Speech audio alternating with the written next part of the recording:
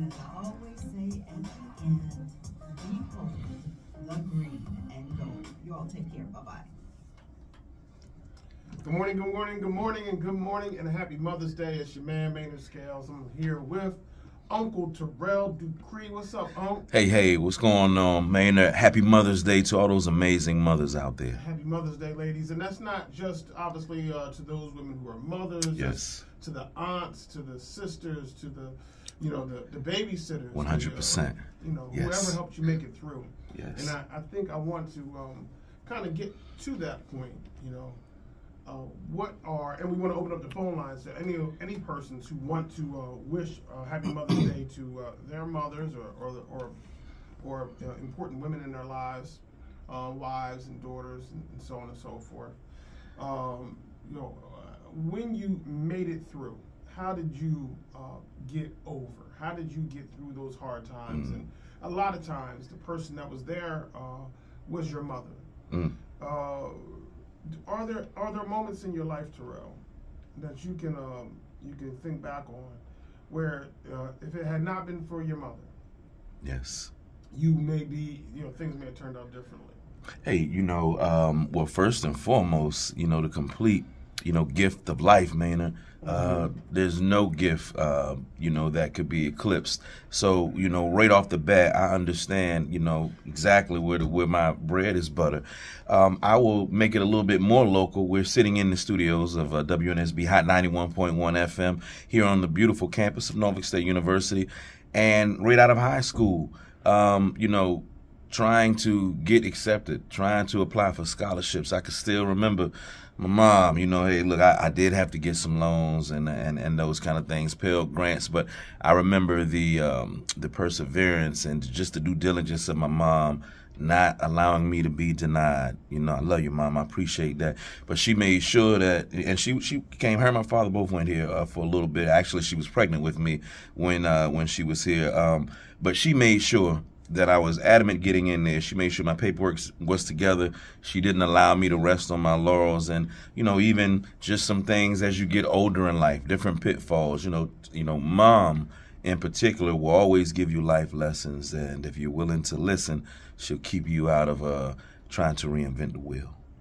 Okay, well, that's an important. That's a very good and important lesson. You know, I, I had similar scenarios. My mother was always kind of um, the person who stepped up and uh, stood in the gap in, in certain areas. Now, I had a great father as well. No doubt. Dad is a phenomenal guy. Yep. What's up, pops? Uh, there were times though uh, where talking to mom about things uh, was a little bit easier than talking yes, to dad. Yes, she was thoroughly my my friend. Still is my best friend. Um, yes, you can talk to mom generally. Um, and I think, um, you know, he, you know, my mother was certainly um, a guiding light through uh, all through school, right? Okay. Kindergarten all, all the way through. My mother was an educator. She was a teacher, and um, you know, was always great with the lesson. Always, all those other things, all those wonderful things. Now, some things, the honest truth. My mother wasn't necessarily like uh, the big mama's house kind of cook. She I got you. Make these elaborate Sunday dinners. Mine you definitely know, wasn't with having a million people over all the time. No, right. I'm with you with that. No but question. she made out. She turned the house into a home. yes. Um, and Yes. she gave us uh, my my sister and I, my, my younger sister, all the lessons necessary. I still have my mother. I'm fortunate. Yes. Amen. Me too. 80 this year. so- Yes. And she's still kicking. Yeah. Yo, let's Yeah. um let's take just a moment and uh, uh, and, and give one uh, one time uh, for the mothers. Salute. Um, a song for Mama by Boyz II Men. I love it.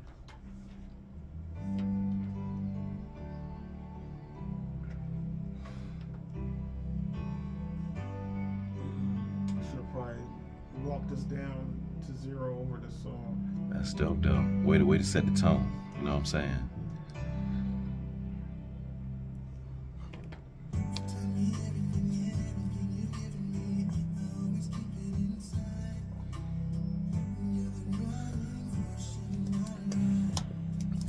Think we uh touch on some of those that don't have mom that recently lost theirs.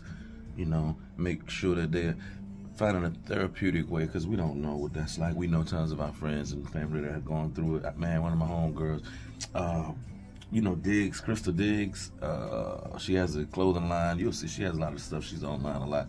She lost her homegirl, Katina, which is a friend, mutual friend we know. Lost her this week. One of her best friends. About her mom died yesterday on her mom's birthday. Mm. Yeah. So just um, you know, maybe just those. Maybe it'd be a nice nugget for those that you know don't have mom in that rut. That's in that place where they want to feel. They obviously feel happy for all of everybody else, but they're really in a rut about not. So ways to help get through it. Maybe, and I think when we get into it, I'll talk about it. But just some ways. Maybe going to a familiar place or something that reminds them, so that they can, you know, still embrace. Oh, You hit it right on the head too, boy. my mama was not one of them. Uh, you know, look like was always all the neighborhood mom, but she ain't like all them kids in the house. She won't doing all that. You know what I mean?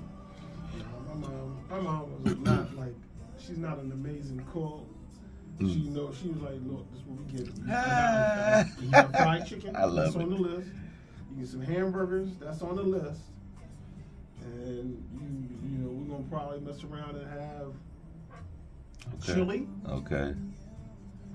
maybe a spaghetti. That's pretty much the, those That was are the my meals. That's Okay. it.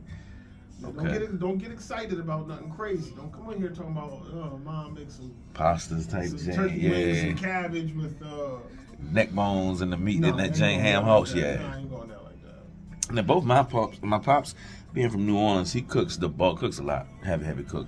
Mom cooked a whole lot too. Um, but you're right, my pops even now to this day he still cooks more. You know, he was making lump crab cake the other night. Yeah, I'm I'm the cook for I'm the cook for all for all my family. Yeah, okay, me too. I do the When. I'm with my mother and my sister, I'm, I'm the cook. Okay, My dad, my dad can fry some fish. That nigga, Oh, that, boy, that who you fry fish is killer. yo, you gotta have mine. You gotta have mine with that white bass, boy. I'm Oh, thorough too, no question. I'll make sure I do it for us. We'll we'll do it. We'll we'll, we'll figure out some time. I, it would be my pleasure to fry some white bass for you. Yeah. okay, okay. Yeah, I, I will bring it through.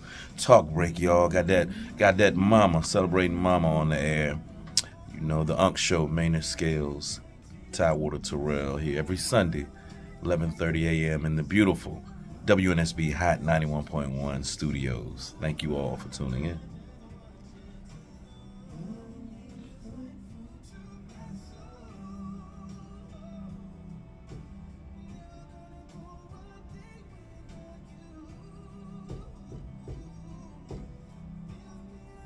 We'll- so you gonna, we're gonna open up about um, those who unfortunately no longer have their mothers.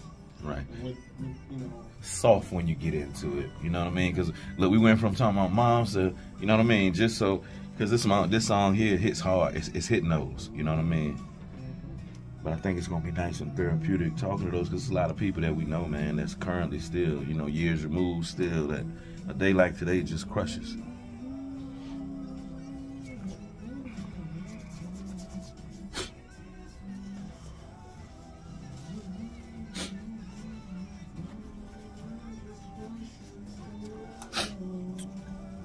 Y'all weren't supposed to see that.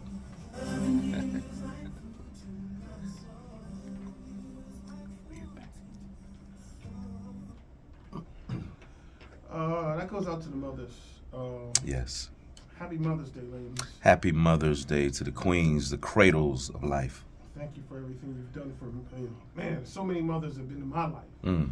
you know, um, and it's uh, it's an interesting um, uh, paradox, if you will, that you have this time with your mother, and and if you're like a lot of um, you know teenagers Mm. growing up, and even young men growing up, your mother often is like. You should do it this way. And you're like, Mom, I, uh, Yes. leave me alone. I'm trying to Guidance. uh, right, right. She's giving you that guidance and that, Yes. that, that insight that sometimes you rebel against, and um, then you find uh, some people um, find that they wish that they could have their mother just one more day. Mm. Um, wow, that They man. lose their, they lose um, a loved one. Mm. Uh, they lose a mother. They lose a grandmother. I've lost both of my grandmothers Me as well. um, years and years back, and um, That's and- man, Ida. We love you. We miss you. Yeah. And uh, blessings. Yes. And um, you know, what's it like and, so anyone who has a story about their mother who would like to call in and hit us Yes. up 757-823-9672-757-823-WNSB and tell us about um, your mother. Yes. Uh, if you've lost a mother, if you lost someone who's close, you know. Um, a maternal impact in your life. that's right. Um, one example for me is uh, a woman I call uh, Aunt Ellie. Uh, she was our next door neighbor, Okay. and she and my mother were best of friends. Uh, um, all my life, it's my Aunt Ellie. Uh, she's That's right. not of any actual blood relation. Sure. Sure. But, you know, uh, In our community, we have a lot of fam that ain't fam. Right, Period. right. You know. uh, but, you know, babysat me. Mhm. Uh, she was also uh, a maintenance worker in, the, in my, my uh, elementary school. Okay. and you know, she um every morning, me and all the guys would get up and go to the bus stop, and as soon as our, our parents turned the corner and tooted the horn, we would run up the street to the corner store. Wow. Okay. And we'd go play video games at the corner store. And miss the bus. Miss the bus. Uh, or, or sometimes we'd make it to we could catch the bus, but I would you know all my all my little lunch money I, I spent at the Right. in the video store on the video games, and my aunt Ellie would see me every day. She made sure I ate every day, and she Mm. never came back home and told my mother like, hey, that boy is always spending Wow. his money. She that was a secret that she kept, and we just we always can you know kind of talk around that. Uh, very you know just a beautiful person. She Mm. had uh, three children of her own okay. and um, just always had a, um, a open door for me and for a lot of other kids on the block Yes. uh, who were relatives or friends of the family or what have you. But just beautiful. Yeah. What about you? Well, and yes, uh, just to piggyback off of that point, um, a, a lot of layers of uh, you know maternal grandmother like aunties, Miss Howard. I call her my third grandmother. She used to. We lived in our complex, and uh, you know used to babysit me and uh, before going to preschool and going to school and coming home. And she lived right next door to us in our apartment building. So. Um, you know, taking me. She was a Jehovah Witness, so I had a chance at a young age. I was one of those youngsters that hung around the old folks, even with my grandparents and you know, uh, on both sides of the family. If you were a youngster back in those uh, late uh, late seventies, early all of the eighties, you know, I'm seventies, eighties, baby. But if you could keep your mouth closed and sit tight and learn. Them old folks will show you some stuff. I was in the Right. back seat of them, them cutlass and them, uh, you know what I mean. Back then, I would go everywhere, and a lot of times it, it you how to communicate. When I would be around at some of the, yeah, whether it be at, at church with my grandma who's a usher, or uh, with my Miss Howard who was a Jehovah Witness, or my grandma down uh, in in uh, New Orleans, Louisiana area, who you know certainly was more of the you know home, open up, everybody come over type. But as a youngster, when you were around and you could, you know, only speak when spoken to, hustle, li- listen, and absorb, be a sponge. I was able to learn a lot and have those uh, maternal uh, pieces, mothers, women in my life, always have me around. He's such, he's so good. He, I could go everywhere because I wasn't smart at. I, you know what I mean, wasn't doing a whole lot of talking, trying to be. And when you're that way, it, lesson still to this day, you can learn and absorb because the old folks will teach you how to how to communicate, decor, shaking hand, eye contact. People say I'm an old soul to this day, and I get it because I hung around the, the elders even when I was a youngster. You know, I think um, you know what we really are talking about in some respect are um, the pillars of our communities. You know, mothers, uh, black women, Mm. uh, particularly in the black community. Talk you know, about if there were if there weren't black women, there would be no black church. Let's If there weren't black women, there wouldn't be anyone else on earth. The first woman ever, the gene is believe okay. You know what? That's a little too deep for y'all. Another subject matter. Yeah, but uh, you know, the black church is uh, the place where so many of us Mm. uh, found not just you know our our introduction to Christ or whatever Yeah. that may look like. Yes. Uh, but so many of us found our, our good friends. So many of us found a, a warm plate. That Uh, good candy from Miss Gladys in the bottom of her purse. But uh, that um, organization, um, small as it may be in certain neighborhoods or conglomerates like in others, uh, the black church is, Mm. um, you know, is something that black women, black mothers have uh, been the shepherds of, Yes. uh, the creators, the holders of. You know, the black church is a place where Grandpop didn't want to go to Okay. church. It was If pops weren't around for whatever reason or not, mama gonna have them babies in there with Right. that Vaseline on their forehead on Easter Sunday, jazzed up. They gonna be in church now. So we think we think uh, we think the mothers for being at the center of the community. And one of the women that was at the center of our my community, we all have one of these women, is uh, Miss Virginia Cookie Marks. Miss Mm. Virginia Marks lived across the street from me, and uh, she passed on just a, handful of years ago at the age of 99, just Wow. short of a, her hundredth birthday. Mm. And she uh, was uh, the mother of, I believe, 13 of her own children, which means that her house was full of grandchildren Period. And she was also because her house is full of grandchildren. There were her house was also full of children like me. I was a friend of a grandchild of a what have you. And uh, Miss Virginia, uh, I promise you, uh, every morning, she when we were very small, she walked nine, ten kids up the street to the bus stop, Okay. and every afternoon she marched ten kids down the street uh, from the bus stop. She saw to it that every young mother's child got on and off the bus safe. Her life lesson was to make sure that those youngsters were safe. Sometimes that is how certain women they can only operate making sure the baby's okay. Right, and you know, while uh, so Miss Virginia uh, passed away at 99, so she at, at least is uh, 30 years older than my mother. Okay. So she was mothering my mother in many ways. Showing them how it's done. Maybe you know, giving some advice. Yes. Maybe uh, spending time, uh, keeping an eye out. Recognizing that mom might be at a, at- look having a moment at a time and giving her a life lesson, pouring That's into right. her. That's real, That's man. And That's so- that that woman to woman. You know. generations of black women Yes. um, have went into the raising up of the Martin Luther Kings or the raising up of uh, the Malcolm X's or the Barack Obamas or what have you. And we know that Barack's mother was a white woman, and Yes. but She loved him, doted over him as a mother would. we know that without mothers, Hmm. uh, we wouldn't be here. So we celebrate and salute you, mothers. Now, Yes. we, Terrell, we have 12 minutes left. Okay. Let's uh let's move on and, and, and get into some other things. Sure. Uh, we see that the, the voices of young people are getting to be uh, louder and stronger. Mm. Uh, this past weekend at graduation at Virginia Commonwealth, for instance, I saw that. uh, Governor Youngkin uh, was the uh, was the, the keynote speaker, and as he began to speak, Virginia Commonwealth University graduates of that day on their special day with Mm. their parents, with their mothers, Everybody. being in the stands, stood up and they walked out, they marched out, and I, I imagine in some type of protest. Now, Mhm. what the actual reason why the what they have against uh, Governor Youngkin, what that was about, I don't know, but.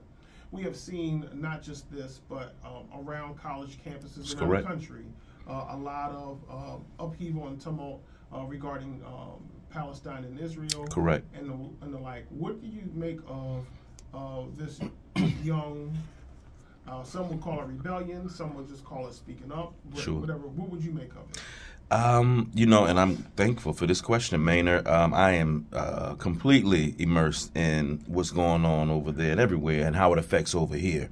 Um, you know, I I liken it to to uh, you know the '69 uh, Woodstock slash you know Vietnam, the hippie era.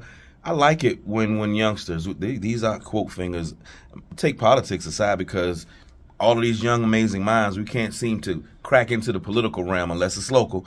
At the top you know the best athletes they give us politically are the two choices that you have so that's that's what america offers. However for the youth in college i'm glad that they're off of their cell phones posting um, you know streaming and really being active. Now again this is the livest that we've seen college campuses about a purpose in a long time.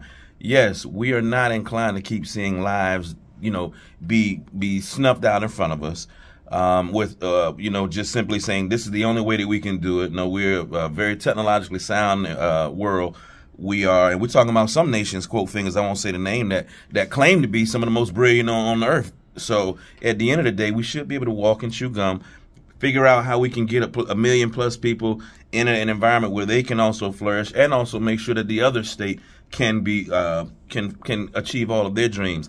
Uh, to your exact point, I don't want it to to get violent when people are out of control, but you know, hey, protest is protest. I, I just watched a few years ago where people kicked in the Capitol. You know, it's, it's amazing how we get one way where we okay with looking the other way, going up against the, the the house of the nation, and now in another aspect, when the youngsters want to get involved, Now we, we show up with more security than than we have at you know what I mean the Gestapo.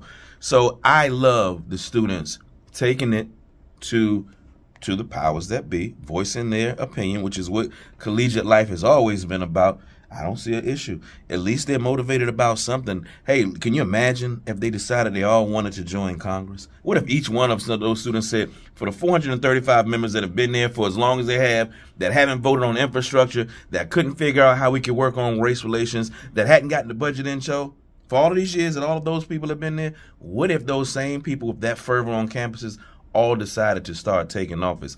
I guarantee that there would be a change in discussion because making decisions with new, fresh minds is where it's at. So, youngsters on campus, be powerful, be out of box, don't be put in a cage. You know, I, I um I support I think the sentiments that you have there, uh, particularly where it says use your voice. Um, use your voice uh, as a, a, means of protest. Use your voice as a means to enlighten others. Uh, use your ears to be enlightened. I also would recommend and say that while we, as much as we understand that this is a democracy and that uh, free speech is critical and important, uh, that speech is critical and important uh, up until we reach the level of violence. Mm, up that's until correct. we reach the, the level of uh, Infringing on others. Yes, sir. So uh, I would urge all peoples uh, to, um, you know, make their voice known. If somebody out there wants to say that there should be free, you know, peaches on Saturdays, I, and if you want to protest that, that's fine. Right. Just don't uh, hurt anyone else. Yes. Don't hurt anyone's property. That's correct. Uh, somebody wants to uh, protest that there should be, uh, you know, no homework uh, throughout the school year. I, I get it, young folks. I, I did not like school homework myself. Yes. Uh, but do know this much: as much as you may want to protest these things, do so in a peaceable fashion. And you know, man, to that point, I watched the video of the uh, VCU Youngkin piece, and I can um, I can probably say that that's more of the Palestinian Israel situation versus some of the other you know legislative pieces because Youngkin has been quite a, a fire firecracker here with some of the marijuana laws, repealing some of those items and things. So, so I don't. It's a it's kind of a mixed bag on what they were leaving and getting up for. I will say this, I, you know. I'm I'm a proponent of free speech. I didn't like that. I'm I'm just a respect person. Now I get it. Get up and walk out.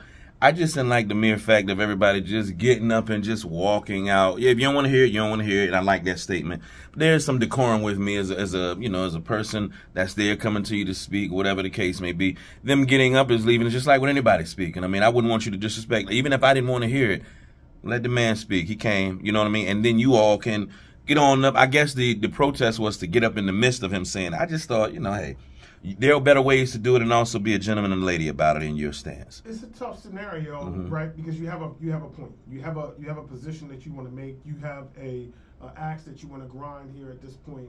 Uh, but your last name is Dupree. Yes. My last name is Scales. And my parents came to see me as much as your Mm. parents came to see you. And when you Dupree, which starts with a D, Yes. and everybody up until you know uh, Scabs, Yes. if you will, uh, stands up and walks out, is disruptive to my mother being able to say, True. she's here to celebrate me. Bison's had a situation like that too. Right. Bison, excuse me. Howard. Yes. yeah. So do, do we owe it to our uh, fellow graduates to to remain silent? Mm. Uh, so that their parents can enjoy this day. Uh, do we have, you know, are there other ways to do it? Can maybe, I remember it was somebody's graduation where the students uh, got up, got their degree, uh, or uh, I think during the during the actual speech they just they sat there but they turned their back. I remember that. They, I they do. had yep. fold out chairs. That's they turned correct. the- they turned the chairs around. That's correct. Is are there other ways to do this? Well, yes, there is. And for for that piece, what that didn't do is infringe on anyone else. They quietly showed their disdain, even when the students left up at VCU.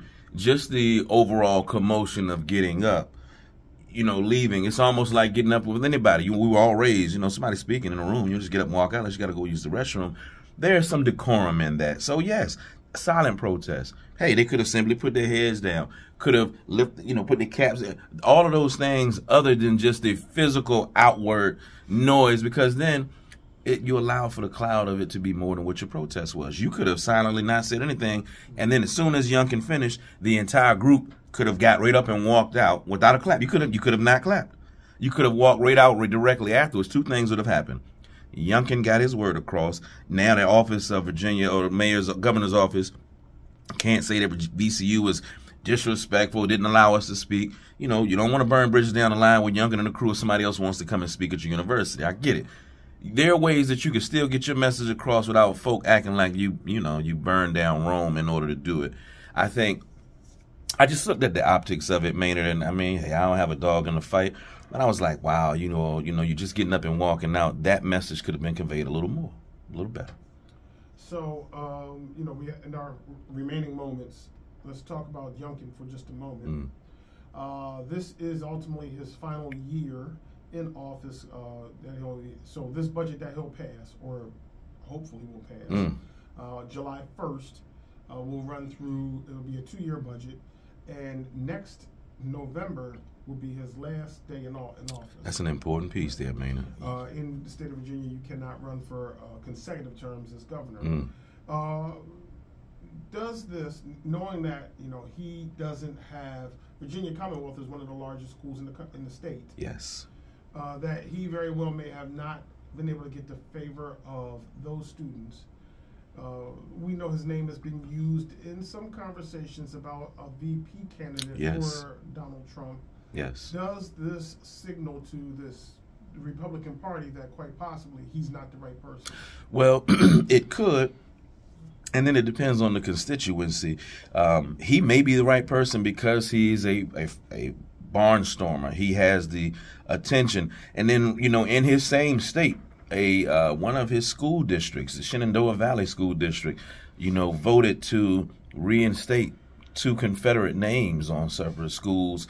You know, where you know you're almost like pulling the scab off. Not only was it good enough to recognize during the George Floyd, you know, onslaught of things going on and changes and moving us forward, some in our nation want to make sure that you realize how great it was at one point for a certain uh, group of folk. So to go backwards, who knows? Depending on the constituency, if if those at the top for VP candidates say we like what he represents, he may be. Youngkin has always had they had their eye on him. I understand Nikki Haley was ruled out as a possible VP candidate from the man himself who would be tapping it.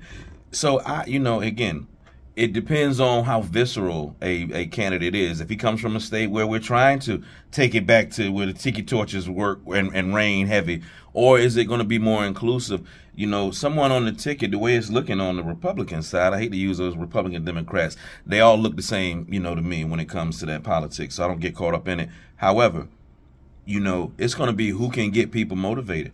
Who are the students going to get rallied around? Because it's kind of hard to get excited. If politics were athletics, you mean to tell me the two people at the top are the two best athletes in the world or in this country with all of these great minds, young, old men, women. We still, we still can't find a woman to put on a. We, we don't have a woman at all that we can say, hey, by the way, it's time, ladies. Most women in most households, speaking of mothers, most women balance a budget. Most women make sure that stuff is paid. They are a great partner in the household to help, you know, all of those get stuff handled. So you're telling me in the highest office, all of this, and ladies, I'm talking to you all. We haven't been able as a nation to put and elevate folk that look like us, that are in the same mindset. Politics, are we just locked out from politics? So if you notice, we get force fed. Only in the local politics where you really get a choice. You kind of get force fed at the top. And then you got to hope that Congress, remember, if it's, if it's Republican and Democrat, well, what is the Congress doing and what are they voting on? So I don't get caught up in who's to blame at the top because all the people underneath, they're supposed to be doing work too, and they've been there for years. Mitch McConnell been there for decades. They won't they won't unearth that that authority, man. And I know I'm off on a tangent. However, you know, hey, Well, and that looks like it. And that brings us to our time to wrap before Terrell goes too crazy. well, collection plate is coming. uh, happy Mother's Day once again. Yes. Um, it's a beautiful day today. In It fact, is. Uh, we're expecting to see highs around 71, 72 degrees. It's currently 67. Yes. It's about 1201, and up next is In Your City. Uh, Rugged EVOs, In Your City. Rugged Evolution, that's my man, Arrington Gavin and company. Yes. So, uh, Terrell, one last word? Thank you so much for listening, Maynard. Grateful for the platform and opportunity for us to just be able to speak with these amazing listeners, and uh, we appreciate WNSB Hot 91.1 FM. Peace, love, and God bless. Happy Mother's Day. See y'all.